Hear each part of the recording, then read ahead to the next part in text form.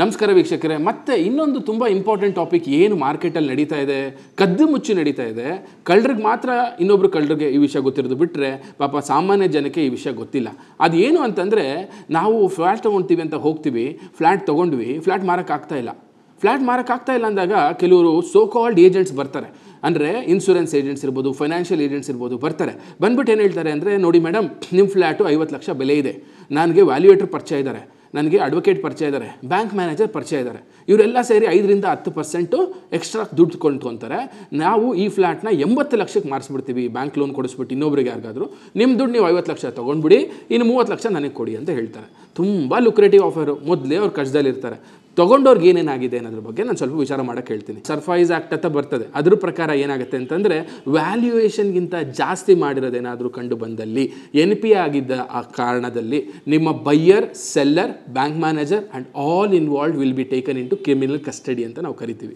ನೀವು black list ಆಗ್ತೀರಾ?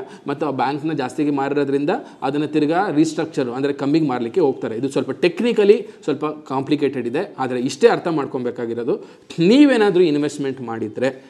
ನಾಳೆ ಲಿಕ್ವಿಡಿಟಿ ಅಂತ ನಾನು ಮಾರ್ಲಿದ್ದೀನಿ ಅಂತ ಹೋದರೆ ದಯವಿಟ್ಟು ಅದರ ಮೌಲ್ಯ ವ್ಯಾಲ್ಯೂ ಮಾತ್ರ ಮಾರಿ. ಯಾರೋ ಆಸೆ ತೋರಿಸಿದ್ರು, ಜಾಸ್ತಿ ಮಾರಿಸ್ಬಿಡ್ತೀನಿ ಬ್ಯಾಂಕಿಂದ ಆಮೇಲೆ ಅದನ್ನು ಕ್ಯಾಶಲ್ಲಿ ವಾಪಸ್ ಕೊಡಿ ಅನ್ನೋದು ಬ್ಯಾಂಕ್ ಮ್ಯಾನೇಜರ್ ಅಡ್ಜಸ್ಟ್ ಆಗಿದ್ದಾರೆ ಅಂತ ಅನ್ನೋದು ಅವ್ರದ್ದು ಯಾವುದೋ ಎಲಿಜಿಬಿಲಿಟಿ ಇದೆ ಅನ್ನೋದು, ಇದು ತುಂಬ ನಡೆದು ನಡೆದು ನಡೆದು last ten twelve ಇಯರ್ಸಲ್ಲಿ N P A of majority of the banks has gone up exponentially and real ಎಸ್ಟೇಟಲ್ಲಿರುವ small small ಸೆಗ್ಮೆಂಟಿನ ಸ್ಮಾಲ್ ಸ್ಮಾಲ್ ಅಪಾರ್ಟ್ಮೆಂಟ್ಸ್ಗಳಿಗೂ ಕೂಡ ಲೋನ್ ಕೊಡೋದಕ್ಕೆ ಬ್ಯಾಂಕು ಹಿಂಜರಿತಾ ಇದ್ದಾವೆ ಸೊ ಅದನ್ನು ಅವಾಯ್ಡ್ ಮಾಡಬೇಕು ನೀವು ಅಂತಂದರೆ ಇರೆಸ್ಪೆಕ್ಟಿವ್ ಆಫ್ ಯಾವ ಬ್ಯಾಂಕ್ ಇರಲಿ, ಅದ್ರ ವ್ಯಾಲ್ಯೂಯೇಷನ್ ಏನಿದೆ, ಅದ್ರ ವ್ಯಾಲ್ಯೂಯೇಷನ್ ದುಡ್ಡನ್ನ ಕೊಡಬೇಕು. ಅದಾದಮೇಲಿಂದ ತಿರ್ಗಾ ಕ್ಯಾಶಲ್ಲಿ ಬೇರೆಯವ್ರಿಗೆ ವಾಪಸ್ ಕೊಡೋದು, ಅವ್ನು ನಿಮ್ಗೆ ಎಕ್ಸ್ಟ್ರಾ ದುಡ್ಡು ಕೊಡಿಸ್ದ ಅನ್ನೋದು, ಬೇರೆ ಬೇರೆ ಅಗ್ರಿಮೆಂಟ್ ಸೈನ್ ಮಾಡೋದು, ದಯವಿಟ್ಟು ಮಾಡಲಿಕ್ಕೆ ಹೋಗಬೇಡಿ. ಮತ್ತೆ ಇನ್ನೊಂದು ತುಂಬ ದೊಡ್ಡ ಪ್ರಶ್ನೆ ಏನು ಬರ್ತದೆ ಅಂತಂದರೆ ರಿಯಲ್ ಎಸ್ಟೇಟ್ ಮಾತ್ರನ ಇನ್ವೆಸ್ಟ್ಮೆಂಟು ಆಯಿತು ರಿಯಲ್ ಎಸ್ಟೇಟ್ ಇಲ್ಲ ಅಡ್ವಾಂಟೇಜ್ ಗೊತ್ತು ಡಿಸ್ಅಡ್ವಾಂಟೇಜ್ ಗೊತ್ತು. ಮತ್ತು ರಿಯಲ್ ಎಸ್ಟೇಟ್ ಅಂದರೆ ಏನೋ ಒಂದು ಸ್ವಲ್ಪ ಫ್ಲೆಕ್ಸಿಬಿಲಿಟಿ ಕಂಫರ್ಟ್ ಇದೆ. ಬಿಟ್ಟರೆ ಬೇರೆ ಯಾವುದು ಇಲ್ವಾ ಅಂತ. ಆದರೆ ಖಂಡಿತ ಹೇಳ್ತಾ ಏನು ಕೇಳಿ, ಬೇರೆ ತುಂಬ ಫೀಲ್ಡ್ಸ್ ಇದೆ. ಅದರಲ್ಲಿ ಒನ್ ಆಫ್ ದ ಫೀಲ್ಡ್ಸ್ ಏನಂತಂದರೆ ಮ್ಯೂಚುವಲ್ ಫಂಡ್ಸ್ ಮತ್ತು ನೆಕ್ಸ್ಟ್ ಫೀಲ್ಡ್ ಏನಂದರೆ ಸ್ಟಾಕ್ ಮಾರ್ಕೆಟ್ ಅದಕ್ಕಿಂತ ಬೆಟರ್ ಫೀಲ್ಡ್ ಬೇಕಂದರೆ infra bonds of twelve year lock in period ಅಂತೀವಿ. ಇಲ್ಲ ಅಂದರೆ ಗೋಲ್ಡ್ ಅಂತ ಕರಿತೀವಿ. ಸೊ ಇದನ್ನಲ್ಲೂ ಕೂಡ ನೀವು ಇನ್ವೆಸ್ಟ್ ಮಾಡೋದು ತಪ್ಪೇನಲ್ಲ. ಅಂದರೆ ನೈನ್ಟೀನ್ ಸಿಕ್ಸ್ಟಿ ಫೋರಿಂದ ಹಿಡಿದು ಒಂದು ರೂಪಾಯಿ ದುಡ್ಡು ಹಾಕಿದರೆ ಎರಡು ಸಾವಿರದ ಇಪ್ಪತ್ತಕ್ಕೆ ಚೆಕ್ ಮಾಡಿದ್ರೆ real estate is not the number one field which has gone up stock market is the field which has gone up ಅಂದರೆ ಸ್ಟಾಕ್ ಮಾರ್ಕೆಟಲ್ಲಿ ಹಾಗಾದ್ರೆ ಹೇಗೆ ಇನ್ವೆಸ್ಟ್ ಮಾಡೋದು? ನನಗೆ A B C D stock market ಗೊತ್ತಿಲ್ಲ. ತಿರ್ಗಾ ಸ್ಟಾಕ್ ಮಾರ್ಕೆಟ್ ಅಂದರೆ ನಷ್ಟ ಅಂತಾರೆ. ಸ್ಟಾಕ್ ಮಾರ್ಕೆಟ್ ಅಂದರೆ ಗ್ಯಾಮ್ಲಿಂಗ್ ಅಂತಾರೆ. ಸ್ಟಾಕ್ ಮಾರ್ಕೆಟ್ನಲ್ಲಿ ಓದೋರು ಎಲ್ಲರೂ ಮೋಸ ಅಂತಂತಾರೆ. ಆವಾಗ ಮೊದಲನೇದಾಗಿ ಏನು ಮಾಡಬೇಕು? ಏನೇನು ಅಡಚಣೆ ಮತ್ತು ಏನೇನು ರೆಡ್ ಸಿಗ್ನಲ್ ಇದೆ, ಅದನ್ನು ನಾವು ಮೊದಲು ಗಮನ ಕೊಡೋಣ. ಅದಾದಮೇಲೆ ಪಾಸಿಟಿವ್ ಕಡೆ ಗಮನ ಕೊಡೋಣ.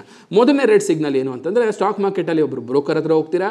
ಅಕೌಂಟ್ ಓಪನ್ ಮಾಡಿದ ತಕ್ಷಣ ಬ್ರೋಕರ್ ಹೇಳ್ತಾರೆ, ಸ್ವಾಮಿ, ನೀವು ಕೊಟ್ಟು ಒಂದು ಲಕ್ಷ, ನಾನು ನಿಮಗೆ ತಿಂಗಳಿಗೆ ಹತ್ತು ಸಾವಿರ ರೂಪಾಯಿ ಕೊಡ್ತೀನಿ, ಅದರಿಂದ ನೀವು ಎಷ್ಟು ದುಡ್ಡು ಮಾಡಿಬಿಡ್ಬೋದು ಅಂತಾರೆ. ಕೊಡ್ತಾರೆ ಕೂಡ, ಮೂರು ತಿಂಗಳು ಕೊಡ್ತಾರೆ. ನಾಲ್ಕನೇ ತಿಂಗಳು ನೀವು ನಲ್ವತ್ತು ಫ್ರೆಂಡ್ಸ್ನ ಕರ್ಕೊಂಬಂದು ಇವ್ರಿಗೆಲ್ಲ ದುಡ್ಡು ಹಾಕಿಸ್ತೀರಾ? ಅವರು ಓಡೋಗ್ತಾರೆ, ಇವರು ಓಡೋಗ್ತಾರೆ. ಸೊ ಇದರಲ್ಲಿ ನೀವು ಅರ್ಥ ಮಾಡ್ಕೊಂಡ್ಬಿಟ್ರೆ ಪಾಯಿಂಟ್ ಏನಂದರೆ, ಮೋಸ ಮಾಡಿದವನಲ್ಲ, ಆಯಿತಾ? ಮೋಸ ಹೋಗಿರೋರ್ಗೆ ಏನು ನಾಲೆಜ್ ಇರಬೇಕು ಅಂತ. ಅದೇನಂತ ಅಂದರೆ, ಪ್ರಪಂಚದಲ್ಲಿ, ಭಾರತದಲ್ಲಿ ಹೆಂಗೇ ಇನ್ವೆಸ್ಟ್ಮೆಂಟ್ ತೊಗೊಳ್ಳಿ. ಅವನ ಆವ್ರೇಜ್ ನಿಮಗೆ ಬರುವ ಇನ್ಕಮ್ ಅಥವಾ ಇಂಟ್ರೆಸ್ಟು ಅಥವಾ ರಿಟರ್ನ್ಸ್ ಇನ್ವೆಸ್ಟ್ಮೆಂಟಲ್ಲಿ ಆಗುವ ಲಾಭ ಎಂಟರಿಂದ ಹದಿನಾಲ್ಕು, ಹದಿನೈದು ಪರ್ಸೆಂಟ್ ಆಗ್ಬೋದು. ಅದು ವರ್ಷಕ್ಕೆ. ಯಾರಾದರೂ ಒಂದೇ ಸತಿ ಬಂದು ಒಂದು ತಿಂಗಳಿಗೆ ಐದು ಪರ್ಸೆಂಟ್ ಕೊಡ್ತೀನಿ ಅಂತಂದರೆ ದಯವಿಟ್ಟು ನಿಯರೆಸ್ಟ್ ಪೊಲೀಸ್ ಸ್ಟೇಷನ್ ಕರ್ಕೊಂಡೋಗಿ ಅವ್ರಿಗೆ ಒಂದು ಸ್ವಲ್ಪ ಜಡೀರಿ. ಏನಕ್ಕಂದರೆ ಇನ್ನೂ ಯಾರೋ ಬೇರೆ ವ್ಯಕ್ತಿಗಾಗುವ ಮೋಸ ನೀವು ತಡೆದಂಗೆ ಆಗ್ತದೆ ನೆಕ್ಸ್ಟು ಸ್ಟಾಕ್ ಮಾರ್ಕೆಟ್ ಅಂತ ನಾವು ಇನ್ವೆಸ್ಟ್ ಮಾಡೋಕ್ಕೆ ಹೋದಾಗ ಏನು ಇನ್ವೆಸ್ಟ್ ಮಾಡಬೇಕು?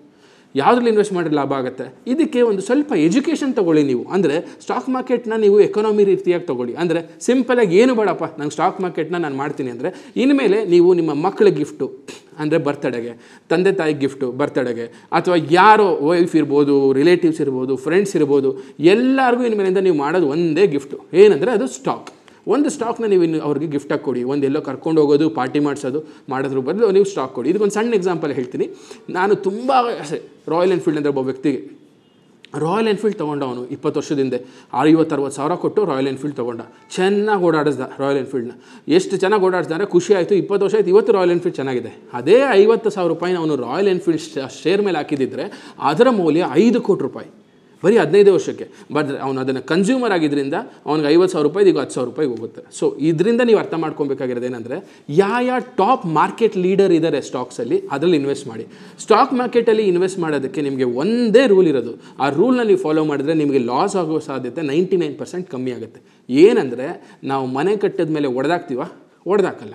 ಆದಷ್ಟು, ಅದೇ ರೀತಿ ಸ್ಟಾಕ್ ತೊಗೊಂಡ್ಮೇಲೆ ನಾವು ಮಾರಲ್ಲ. ಹತ್ತು ವರ್ಷ ಆಗ್ಬೋದು, ಹದಿನೈದು ವರ್ಷ ಆಗ್ಬೋದು, ಇಪ್ಪತ್ತು ವರ್ಷ ಆಗ್ಬೋದು. ಆ ಸ್ಟಾಕ್ ಮೇಲೆ ನಾವು ನಂಬಿಕೆ ಇರುತ್ತೆ, ಆ ಸ್ಟಾಕ್ನ ತೊಗೋತೀವಿ. ಹಾಗಾದರೆ ಯಾವ ಸ್ಟಾಕ್ನ ತೊಗೊಳೋದು? ಯಾರೋ ಫ್ರೆಂಡ್ ಹೇಳ್ದ, ಇಲ್ಲಿ ಏನೋ ಎ ಬಿ ಸಿ ಸ್ಟಾಕ್ ತಗೋ, ಇನ್ನೊಬ್ಬ ಫ್ರೆಂಡ್ ಹೇಳ್ದ ಎಕ್ಸ್ ವೈ ಸ್ಟಾಕ್ ತಗೋ. ಮತ್ತು ಯಾವ ಸ್ಟಾಕ್ನ ತೊಗೊಳೋದು ಅಂದರೆ ಸ್ಟಾಕಲ್ಲೂ ಕೂಡ ಯಾವಾಗಿದ್ರೂ ಏನು ನೋಡಬೇಕು ನೀವು? ಮಾರ್ಕೆಟ್ ಲೀಡರ್ನ ನೋಡಬೇಕಾಗುತ್ತೆ. ಏನು ಮಾರ್ಕೆಟ್ ಲೀಡರ್ ಅಂದರೆ ಮೂವಿನ ಎಕ್ಸಾಂಪಲ್ ತೊಗೊಳ್ಳಿ. ಯಾರೋ ಒಬ್ಬರು ಫೇಮಸ್ ತೆಲುಗು ಆ್ಯಕ್ಟರ್ ಮೂವಿ ಮಾಡ್ತಾರೆ. ಮೂವಿ ಮಾಡಿದಾಗ ತೆಲುಗು ಆ್ಯಕ್ಟರ್ ಫೇಮಸ್ಸು ಕತೆ ಕೇಳ್ತೀರಾ? ಮ್ಯೂಸಿಕ್ ಕೇಳ್ತೀರಾ? ಏನಿಲ್ಲ. ಆ ಅಪ್ಪನ ಮುಖ ಅಷ್ಟೇ. ಹೋಗ್ಬಿಟ್ಟು ನೆಕ್ಸ್ಟ್ ಹದಿನೈದು ದಿನ ಹೌಸ್ಫುಲ್ಲು ಮೀನಿಂಗ್ ಏನು? ಈಸ್ ಇನ್ ಟ್ರೆಂಡ್ ಅವ್ರಿಗೆ ಒಂದು ಫೇಸ್ ವ್ಯಾಲ್ಯೂ ಇದೆ. ಅವ್ರಿಗೊಂದು ಸ್ಟಾಕ್ ವ್ಯಾಲ್ಯೂ ಇದೆ. ಅವ್ರಿಗೆ ಅವ್ರು ಮೂವಿ ಮಾಡಿದ್ರೆ ಇಷ್ಟು ರಿಟರ್ನ್ ಬರುತ್ತೆ ಅಂತ ಗೊತ್ತು ಎಲ್ಲರಿಗೂ ಅದೇ ರೀತಿ ಮಾರ್ಕೆಟ್ ಲೀಡರ್ ಇರ್ತಾರೆ. ತ್ರೀ ಟು ಫೈವ್ ಸ್ಟಾಕ್ಸ್ ಅದರಲ್ಲಿ ಮಾತ್ರ ಇನ್ವೆಸ್ಟ್ ಮಾಡಿ. ಫಾರ್ ಎಕ್ಸಾಂಪಲ್ ಇದರಲ್ಲಿ ನನ್ನ ಯಾವ ಹೂಡಿಕೆನೂ ಇಲ್ಲ. ಒಂದು ಕಂಡೀಷನ್ ಹೇಳ್ಬಿಟ್ಟೆ ಹೇಳ್ತಾ ಇದ್ದೀನಿ. ಇನ್ಫೋಸಿಸಲ್ಲಿ ಇನ್ವೆಸ್ಟ್ ಮಾಡಿ ನೀವು. ಅಥವಾ ಟಿ ಸಿ ಇನ್ವೆಸ್ಟ್ ಮಾಡಿ ಐ ಟಿ ಸಿನಲ್ಲಿ ಇನ್ವೆಸ್ಟ್ ಮಾಡಿ ಎನ್ ಸಿ ಸಿಲಿ ಇನ್ವೆಸ್ಟ್ ಮಾಡಿ, ಈ ಥರ ನೂರೆಂಟು ಕಂಪ್ನಿ ಇರುತ್ತೆ. ಹಂಗಾರೆ ಹೆಂಗೆ ಅದನ್ನು ಸೆಲೆಕ್ಟ್ ಮಾಡೋದು ನಂಗೆ ತಿರ್ಗಾ ಗೊತ್ತಿಲ್ಲ ಅಂತಂದರೆ ಒಂದೇ ಒಂದು ಕೆಲಸ ಮಾಡಿ.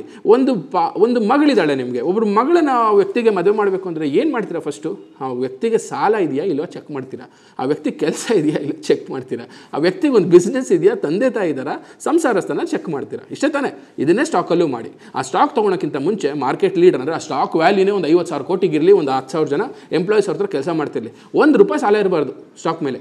ಮೂರನೇದಾಗಿ ಏನಿರಬೇಕು ಅದ್ರ ಕಡೆ ಎಲ್ಲ ಕಡೆ ಆರ್ಡರ್ಸ್ ಇರಬೇಕು. ಎಲ್ಲ ಕಡೆ ಪ್ರಚಾರತ್ವವಾಗಿರುವಂಥ ಒಂದು ಸ್ಟಾಕ್ ಆಗಿರಬೇಕು. ಅದರಲ್ಲಿ ಮೊದಲನೇ ರೂಲ್ ಸಿಕ್ಸ್ಟಿ ಪರ್ಸೆಂಟ್ ಏನು ಇಂಪಾರ್ಟೆಂಟು ಸಾಲ ಇರಬಾರ್ದು. ಸಾಲ ಇಲ್ದಿರೋ ಸ್ಟಾಕ್ಸ್ಗೆ ನೀವು ಇನ್ವೆಸ್ಟ್ ಮಾಡೋದು ಕೂಡ ಒಳ್ಳೆಯದಾಗುತ್ತೆ ನೆಕ್ಸ್ಟ್ ಪಾಯಿಂಟ್ ಏನಂದರೆ ಗೋಲ್ಡ್ ಅಂತ ಬರ್ತದೆ. ಗೋಲ್ಡ್ ಅಂತ ಬಂದಾಗ ತುಂಬ ತುಂಬ ತುಂಬ ದೊಡ್ಡ ಸ್ಕ್ಯಾಮ್ ಆಗಿಬಿಟ್ಟಿದೆ ಗೋಲ್ಡು ಅಕ್ಷಯ ತೃತೀಯದಿಂದ ಹಿಡಿದು ಹಾಂ? ಯಾವ್ಯಾವ ಒಂದು ಹಬ್ಬಗಳು ಬರುತ್ತೋ ಅವಾಗೆಲ್ಲ ಆಫರ್ ಅಂತ ಹಾಕ್ತಾರೆ. ಇದಕ್ಕೆ ನಾನು ನಿಮ್ಗೊಂದು ಸಣ್ಣ ಐಡಿಯಾ ಒಂದು ಸಣ್ಣ ನಾಲೆಜ್ ಕೊಡೋಕ್ಕೆ ಇಷ್ಟಪಡ್ತೀನಿ. ಎಲ್ಲರಿಗೂ ಗೊತ್ತಿರುತ್ತೆ ಏನಂತ ಅಂದರೆ ಝಾರಾ ಅಂತ ಒಂದು ಬ್ರ್ಯಾಂಡ್ ಇದೆ.